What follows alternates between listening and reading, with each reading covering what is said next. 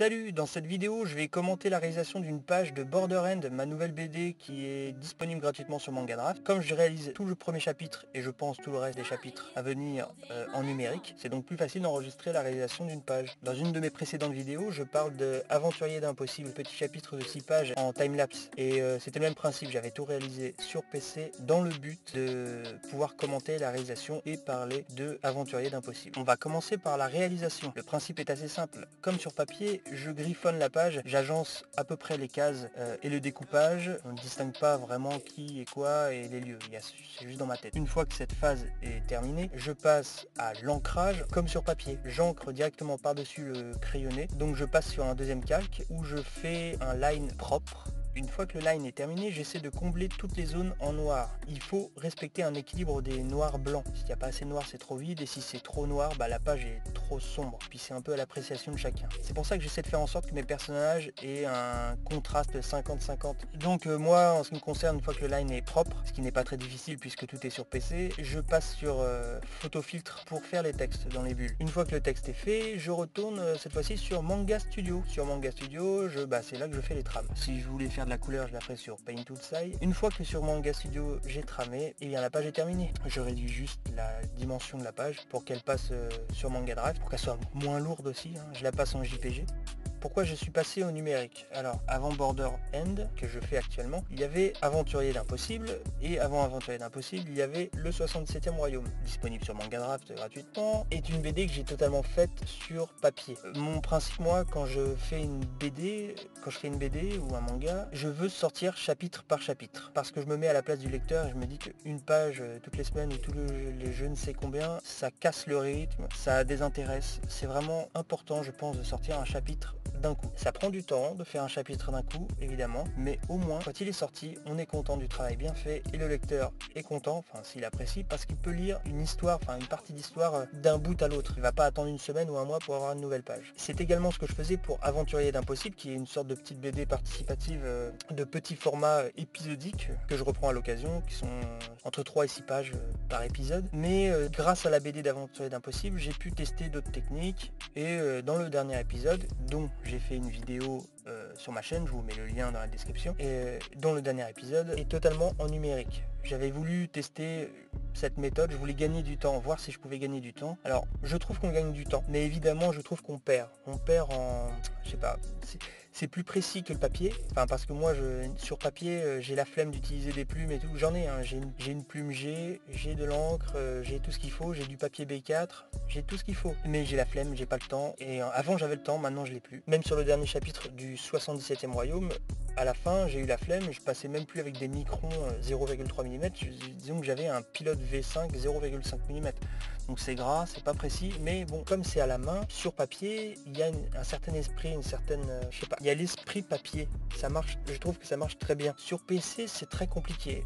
Euh, j'ai vu des. Je pense que ça vient avec la pratique. Et il y a des auteurs, des dessinateurs sur, sur Paint Toolside d'ailleurs, hein, à la tablette, hein, qui, ont ce, qui arrivent à recréer cette sensation euh, de naturel. On dirait presque qu'ils ont ancré un dessin et qu'ils l'ont scanné. Alors qu'en fait non, ils l'ont fait à la tablette. Bref, ce n'est pas le même résultat sur tablette. Je l'ai vraiment senti avec euh, le dernier épisode d'Aventurier d'Impossible. On va en venir à Border End. Pourquoi est-ce que je suis quand même passé en numérique avec Border End Je suis papa depuis plus d'un an maintenant et euh, à un moment donné, il a fallu que je me motive. Je me suis dit, certes j'ai moins le temps parce que je suis papa, mais je vais pas attendre que ma fille ait 10 ans, voire plus, pour me remettre à dessiner. Et un jour, je lisais un webcomics qui s'appelle euh, Hardcore Leveling Warrior, conseille, c'est très intéressant et euh, c'est totalement fait sur euh, en numérique, ou du moins il y a des chapitres qui sont faits en numérique, ça se ressent, ça se voit. Après c'est en couleur, mais voilà, j'ai trouvé qu'il y avait sur le moment quelque chose de fun, quelque chose de, vraiment joyeux. Disons que dans la manière de faire, c'était très...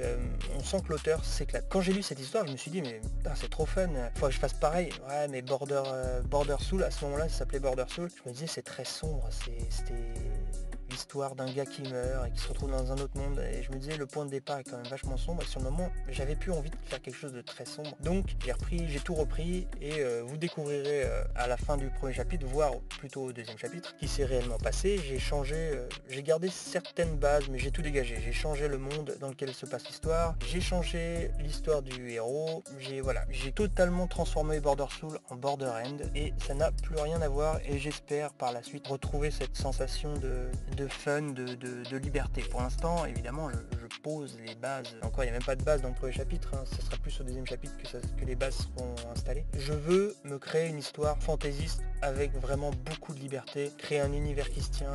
Et euh, comme d'habitude, c'est jamais facile de faire quelque chose comme ça. Mais ça fait, ça doit faire plus de 10 ans que je pense cet univers. Et bon, plus récemment, ça doit faire à peine 6 mois que je repense totalement l'univers, vu que je me suis motivé à, tout rechanger. Donc si vous me disiez, vous découvrirez au deuxième chapitre euh, de quoi je parlais. Oui, parce qu'il faut savoir qu'à la base, euh, avant qu'il y ait Border End, il y avait Medium Like. Il y a 10 ans, en 2009, donc ouais, ça date, j'ai participé à un petit concours de BD, c'était sur le thème de la mort, et j'ai dessiné une histoire de 4 pages. C'est une histoire que j'avais imaginée plus tôt dans l'année, mais je n'avais encore jamais dessiné à cette époque-là. J'avais jamais dessiné de BD, euh, je commençais tout juste à m'intéresser, ça faisait à peine 2 ans que je lisais des mangas. Oui, j'ai commencé très tardivement, j'ai commencé à 18 ans à lire des mangas, enfin 17 ans. Et, et à ce moment-là, euh, je m'étais dit, voilà, j'avais des idées d'histoire, j'avais jamais réellement dessiné avec euh, assiduité.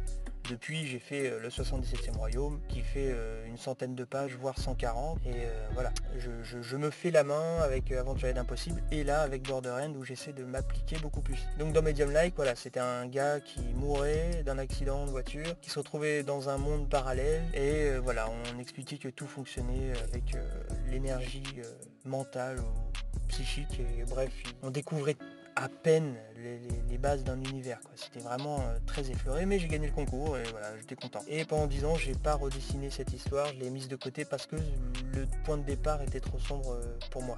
J'avais pas envie, de, voilà, moi qui lis beaucoup de, voilà, je lis beaucoup de shonen, euh, je, sais lire autre chose que des shonen, je lis aussi des seinen, etc. Mais, mais je voulais, voilà, à ce moment-là, j'étais dans One Piece et je me suis dit, allez hop, on va faire autre chose d'assez décalé dans le même délire. Et j'étais parti dans le 67e royaume, qui par la suite s'est totalement transformé. Bref, je parlerai du 77e royaume dans une autre, une autre vidéo, si c'est pas déjà fait dans plusieurs de mes vidéos passées. Et donc, euh, Medium Light, peu de temps après, ou plutôt, euh, on va dire 3-4 euh, ans, 3-4 ans après avoir dessiné ça, quand je suis arrivé dans la région où j'habite maintenant, je me suis motivé à dessiner euh, une BD et j'avais réimaginé, re-scénarisé euh, Medium, Medium Like pour que ça devienne Border Soul. Et je me suis quand même dit que non, c'était trop sombre. Donc c'est à ce moment-là que j'ai commencé le 67e royaume, ça devait être en 2011-2012. Et que, pareil, j'avais repris une autre histoire, mais voilà, que j'ai terminé il y a quoi deux ans? En 2017 j'ai terminé le 77e royaume. Et je n'avais pas redessiné de BD derrière, à part Aventurier d'Impossible. Entre temps, je suis devenu papa. Et puis je me suis motivé à faire, euh, à redessiner une BD et j'avais une autre BD en tête que je, une autre histoire que pareil je prévois depuis très longtemps, qui est connectée au 77e royaume et qui s'appelle euh, Jail Zero. Pas du tout dans un monde, euh, on va dire, qui est pas dans un monde métaphysique. C'était dans un monde, dans, c'était plus un délire à la Stargate, mais je la dessinerai un jour cette histoire. Je la garde de côté parce que j'ai tellement fignolé le, monde et le, personnage principal que je peux pas ne pas m'en servir. Donc voilà, je me suis lancé dans Border End. Je me suis dit, hop, un soir, un soir, je lisais euh, Hardcore Leveling Warrior. Je me suis dit, faut vraiment que je me lance, que je refasse une BD, que je me remette à dessiner, même si c'est une page par semaine. Et là, bam, j'ai fait un dessin. La première page de l'histoire, c'est le dessin que j'ai fait d'une traite un soir. Je me suis dit, allez hop, c'est parti, je fais un dessin, je le poste, je mets le titre de la BD, et comme ça, j'ai pas le choix. Il faudra que je continue. Et voilà, et c'est pour ça que je fais une seule page par semaine. Maintenant, je fais même plus une page par semaine, mais j'essaie de me remotiver. Le problème, c'est que l'été, on a euh,